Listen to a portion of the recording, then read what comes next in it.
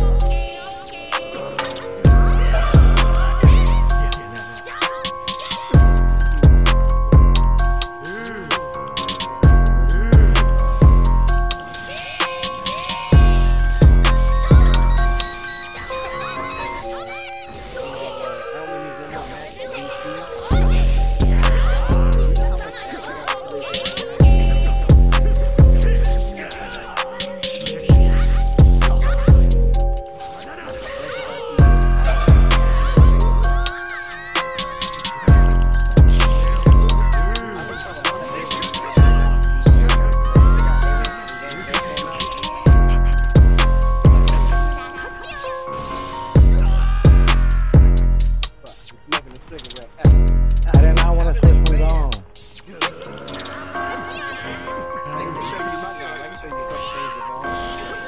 Yeah, I want to learn with Gon.